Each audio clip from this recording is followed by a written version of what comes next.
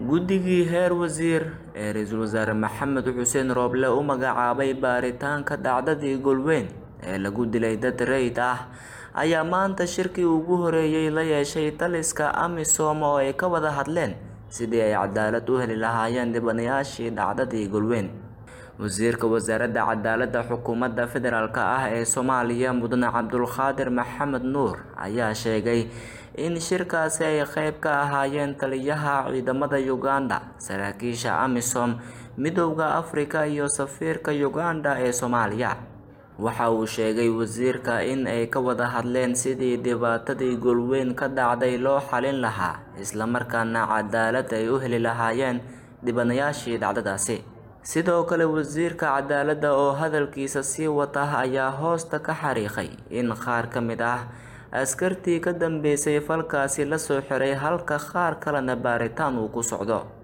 Ra'iisul wasaaraha xukuumadda federaalk ah ee soomaaliya mudane maxamed xuseen rooble oo ka jawaabaya falkii ciidamo ka tirsan kuwa amisom ay ku dileen dad rayid ah deegaanka golweyn ayaa guddi heer wasiiro ah u saaray baaritaanka dhacdadaasi xanuunka leh.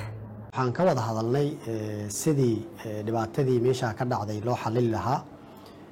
Saddex qeybood ayaan u kala qaadnay. Dadkii dhibka geystay ama ciidamadii dhibka geystay oo badankooda hadda la soo xiray qaar kalena baaris ku socoto in la waafajiyo cadaaladda iyo maxkamadda.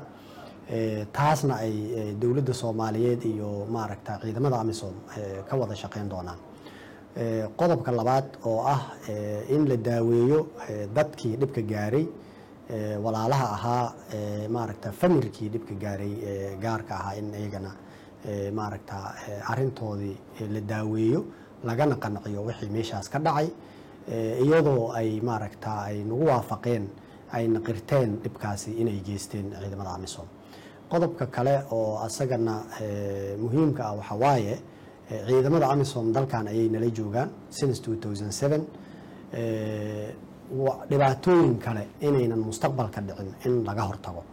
Oo loo diyaariyo maxaa la dhihi jiray dib dambe shacabka soomaaliyeed xanuun noocaan oo kale inuusan u gaarin.